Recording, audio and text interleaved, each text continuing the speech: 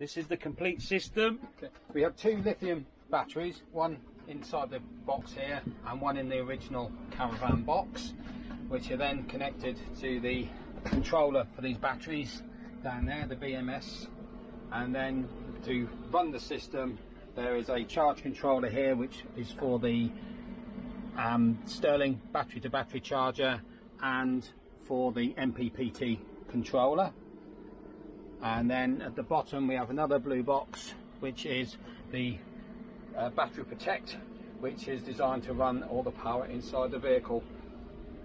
And then to complement that, there is the MultiPlus 12 3120 inverter charger to give 230 volts on board the truck.